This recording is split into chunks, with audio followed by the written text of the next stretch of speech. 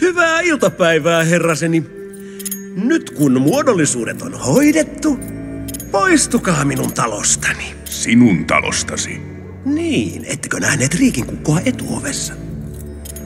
Jaa, siinä sinä olet ennustaja. Näemmä ennustustaidoistasi ei ole sinulle paljon hyötyä. Sehän nähdään, Shen. Ah, itse näet vanha vuohi. Mihin jäimmekään? Mitä sinä tahdot, Shen? Sen, mikä minulle kuuluu. Kongmenin kaupungin! Gangmen on mestarien neuvoston vastuulla ja me suojelemme sitä. Jopa sinulta.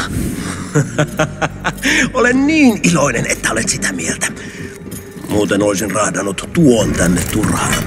Mitä laatikossa on, Shen? Kiinnostaako? Se on lahja. Jäähyväislahjanne. Ja jos teistä nyt jotain jää, vähäsen sinne, vähäsen tänne ja vähäsen tuonne kauas asti. Tahraksi seinille. Julkea söperys!